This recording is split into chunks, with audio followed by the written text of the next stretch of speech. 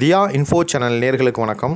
இந்த சேனலை நீங்கள் முதல் முறையாக பார்க்குறீங்கன்னா கட்டாயம் சப்ஸ்கிரைப் பண்ணுங்கள் அது மட்டும் இல்லை லைக் பண்ணுங்கள் மற்றவங்களுக்கு ஷேர் பண்ணுங்கள் எங்கள் சேனலை ஃபாலோ பண்ணுங்கள் இந்த சேனலில் போடக்கூடிய எல்லா வீடியோக்களும் உங்களுக்கு வாழ்க்கைக்கு தேவையான வீடியோக்களை தான் நான் கண்டென்ட்டாக எடுத்து போடுறேன் ஸோ வாங்க நம்ம இப்போ வீடியோக்குள்ளே போவோம். வணக்கம் நேர்களே. நாம் இன்றைக்கி ஒரு முக்கியமான பதிவு தான் பார்க்க போகிறோம் என்ன பதிவு அப்படின்னு பார்த்தீங்கன்னா தமிழக இளைஞர்களுக்கான ஒரு முக்கிய பதிவு. அதுவும் இளைஞர்கள் என்று சொன்னால் விளையாட்டு வீரர்கள் இருப்பாங்க பார்த்தீங்களா? அவங்களுக்கு தான் இந்த பதிவு மிகவும் ஒரு அருமையான பதிவாக இருக்கும். ஸோ நிறைய விளையாட்டு வீரர்கள் என்ன நினைப்பாங்கன்னா தன்னுடைய ஸ்டேஜ்லேருந்து அடுத்த ஸ்டேஜ் போகணும் அப்படின்னு நினைப்பாங்க. நிறைய பேருக்கு ஆசை என்னென்னா நம்மளுடைய மாநில அணியில் நானும் இடம்பெற வேண்டும் என்று நிறைய பேர் ஆசைப்பட்டுட்டு இருப்பாங்க. ஸோ அப்படி ஆசைப்படுறவங்களுக்கான ஒரு முக்கிய தகவல் தான் நம்ம இன்றைக்கி ஷேர் பண்ண போகிறோம் ஸோ நம்ம வீடியோவை கண்டினியூவாக பாருங்கள் ஸ்கிப் பண்ணாமல் பாருங்கள் அப்போனா தான் நம்ம சொல்லக்கூடிய தகவல் உங்களுக்கு கண்டினியூவாக கிடைக்கும். ஸோ வாங்க நம்ம இப்போ வீடியோக்குள்ளே போவோம். தமிழக விளையாட்டு மேம்பாட்டு ஆணையத்துலேருந்து தான் ஒரு செய்தி வெளியிட்டிருக்கிறாங்க. ஸோ என்ன செய்தின்னு பார்த்தீங்கன்னா ஒரு விளையாட்டு போட்டிகளை வந்து அவங்க இப்போவும் நடத்த போகிறாங்க ஸோ அதற்கான தலைப்பு தான் கொடுத்துருக்காங்க. அந்த விளையாட்டு போட்டிகள் என்னென்னு பார்த்தீங்கன்னா கேலோ இந்திய இளைஞர்கள் விளையாட்டு போட்டிகள் இரண்டாயிரத்தி இருபத்தி மூன்றாம் ஆண்டு அப்படின்னு தான் கொடுத்துருக்காங்க. ஸோ தலைப்பு. ஸோ அதன்படியாகத்தான் அந்த செய்தி வெளியிட்டிருக்கிறாங்க. இந்த செய்தியில் என்ன சொல்லியிருக்காங்க பார்த்தீங்கன்னா கேலோ இளைஞர்கள் விளையாட்டு போட்டிகளை வந்து மத்திய அரசாங்கம் தான் இதை நடத்துது. ஸோ எதற்காக நடத்துகிறாங்கன்னு பார்த்தீங்கன்னா விளையாட்டு மற்றும் விளையாட்டு தகுதியை மேம்படுத்துவதற்காகத்தான் இந்த விளையாட்டு போட்டிகள் எல்லாம் ஒருங்கிணைந்து நடத்தப்படுகிறது. ஸோ இந்த விளையாட்டு போட்டிகளில் விளையாடக்கூடிய வயது எத்தனைன்னு பார்த்தீங்கன்னா பதினேழு வயசுலேருந்து இருபத்தோரு வயசுக்குள்ளே இருக்கவங்க தான் இந்த விளையாட்டு போட்டிகளில் கலந்து கொள்ள முடியும். ஸோ இப்படிப்பட்ட விளையாட்டு போட்டிகள் எப்போ நடந்துச்சுன்னு பார்த்தீங்கன்னா ரெண்டாயிரத்தி இருபத்தி ஓராம் ஆண்டில் ஹரியானாவில் இந்த கேலோ இந்திய இளைஞர் விளையாட்டுப் போட்டிகள்லாம் வந்து பதினெட்டு வயசுக்குள்ளே அதாவது பதினெட்டு வயசுக்கு உட்பட்ட பிரிவில் தான் நடத்தப்பட்டது. அதுக்கப்புறம் எப்போ நடந்துச்சுன்னு பார்த்தீங்கன்னா ரெண்டாயிரத்தி இருபத்தி ரெண்டாம் ஆண்டு மத்திய பிரதேசத்திலும் இதே கேலோ இளைஞர்கள் போட்டி வந்து நடத்தப்பட்டது. ஸோ அதன் அடிப்படையில் வந்து நம்ம தமிழக முதல்வர் அதாவது மாண்புமிகு தமிழக முதல்வர் அவர்கள் எடுத்த நடவடிக்கையின் அடிப்படையில் வந்து கேலோ இந்திய இளைஞர் விளையாட்டுப் போட்டிகள் வந்து ரெண்டாயிரத்தி இருபத்தி மூன்றாம் ஆண்டில் வந்து தமிழ்நாட்டை வச்சு நடத்துவதற்கு மத்திய அரசாங்கம் ஒப்புதல் அளித்திருக்காங்க. ஸோ அதன் அடிப்படையில் வந்து தமிழ்நாட்டில் வச்சு இந்த போட்டிகள் நடைபெறப் போகிறது. இதற்காக தமிழக விளையாட்டு மேம்பாட்டு ஆணையம் இருக்குது பார்த்தீங்களா ஸோ தமிழ்நாட்டு இளைஞர் நலம் மற்றும் விளையாட்டு மேம்பாட்டுத்துறை அது வந்து அனைத்து நடவடிக்கையும் மேற்கொண்டு வராங்க.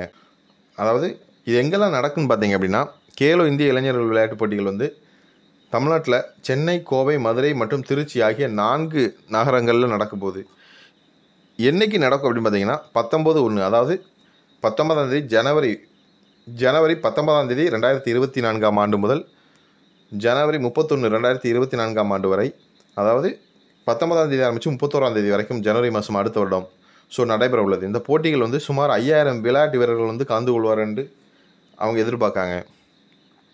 இதில் என்னென்ன போட்டிகள்னு பார்த்தீங்கன்னா அதாவது தடகளம் கால்பந்து குத்துச்சண்டை வாள்வீச்சு வாலிபால் பளு தூக்குதல் ஸ்குவாஷ் வில்வித்தை judo kata table tennis badminton cycle ஓட்டுதல் கோகோ யோகாசனம் மல்யுத்தம் ஹாக்கி நீச்சல் ஜிம்னோஸ்டிக் டென்னிஸ் துப்பாக்கி சுடுதல் களரிப்பயட்டு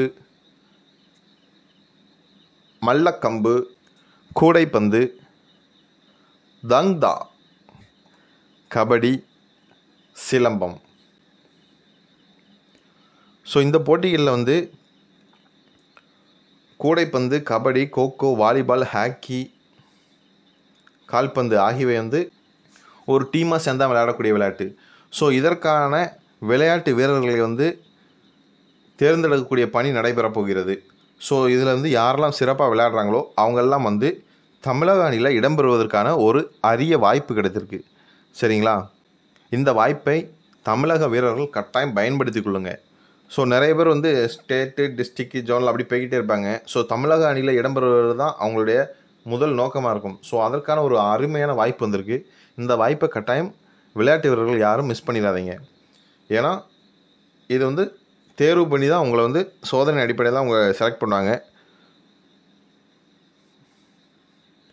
ஸோ என்னென்ன போட்டி எங்கே வச்சு எந்த டைமுக்கு நடக்கும் அப்படின்னு பார்த்தீங்கன்னா ஃபஸ்ட்டு கூடைப்பந்து அதாவது வாலிபால் பெண்களும் ஆண்களும் இதில் கலந்து கொள்ளலாம்.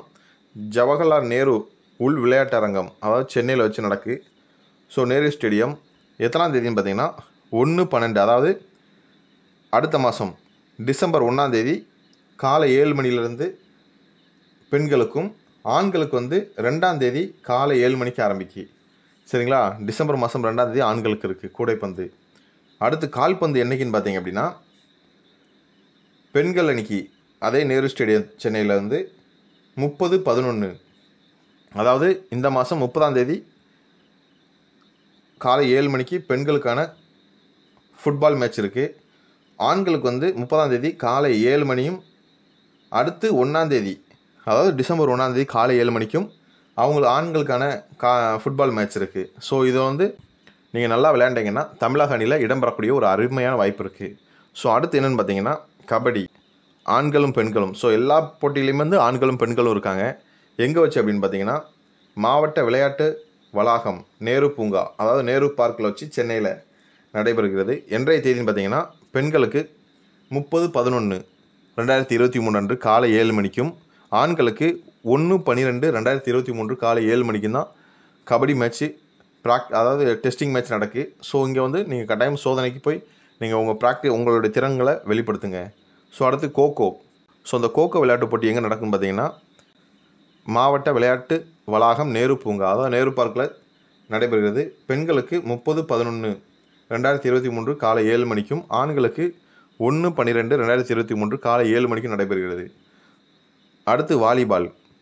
ஸோ பெண்களுக்கும் ஆண்களுக்கும் எங்கே வச்சு நடைபெறுதுன்னு பார்த்தீங்கன்னா மேயர் ராதாகிருஷ்ணன் ஹாக்கி அரங்கம் சென்னை. இங்கே வச்சு தான் நடைபெறுகிறது. எத்தனாம் தேதின்னு பார்த்தீங்கன்னா பெண்களுக்கு முப்பது பதினொன்று ரெண்டாயிரத்தி இருபத்தி மூன்றும் காலை ஏழு மணிக்கும் ஆண்களுக்கு ஒன்று பன்னிரெண்டு ரெண்டாயிரத்தி இருபத்தி மூன்று காலை ஏழு மணிக்கும் நடைபெறுகிறது. அடுத்து ஹாக்கி ஆறாவதாக. இந்த மேட்ச் வந்து எங்கே நடைபெறுகிறதுன்னு பார்த்தீங்கன்னா மேயர் ராதாகிருஷ்ணன் அரங்கம் சென்னை. ஸோ பெண்களுக்கு வந்து முப்பது பதினொன்று ரெண்டாயிரத்தி இருபத்தி மூன்றும் காலை ஏழு மணிக்கும் ஆண்களுக்கு வந்து ஒன்று பன்னிரெண்டு ரெண்டாயிரத்தி இருபத்தி மூன்று காலை ஏழு மணிக்கும் நடைபெறுகிறது. இதில் யாரெல்லாம் இந்த விளையாட்டு போட்டிகளை விளையாண்டு செலக்ட் பண்ணப்படுறாங்களோ அவங்கெல்லாம் வந்து தமிழ்நாட்டு விளையாட்டு மேம்பாட்டு ஆணையத்தின் சார்பில் வந்து அந்தந்த விளையாட்டு பிரிவுகளில் தகுந்த பயிற்சி அளிக்கப்படும் சொல்லியிருக்காங்க. அது மட்டும் கிடையாது தகுதிக்கேற்ப விளையாட்டு வீரர்கள் வயது சரிபார்ப்பு செயல்முறைகள் பின்வரும் ஆவணங்களில் ஏதேனும் இரண்டை சமர்ப்பிக்க வேண்டும். ஸோ ஏதாவது அவங்க ஏஜ் ப்ரூஃபுக்கு கட்டாயம் கொண்டு போகணும். என்னென்னு பார்த்தீங்கன்னா ஆதார் கார்டு இல்லைன்னா பாஸ்போர்ட் அடுத்து வந்து பள்ளி கல்விச் சான்றிதழ். அதாவது டென்த்து முடிச்சக்கூடிய சர்டிஃபிகேட் மார்க் ஷீட் கொண்டு போங்க. அடுத்து பர்த் சர்டிஃபிகேட் அதாவது பர்த் சர்டிஃபிகேட் வந்து குறைந்தது ஐந்து ஆண்டுகளுக்கு முன்பு மாநகராட்சி அல்லது கிராம பஞ்சாயத்து மூலமாக ஜனவரி ஒன்று ரெண்டாயிரத்தி பதிமூன்று அன்று அல்லது அதற்கு முன் வழங்கப்பட்டதாக இருக்க வேண்டும்.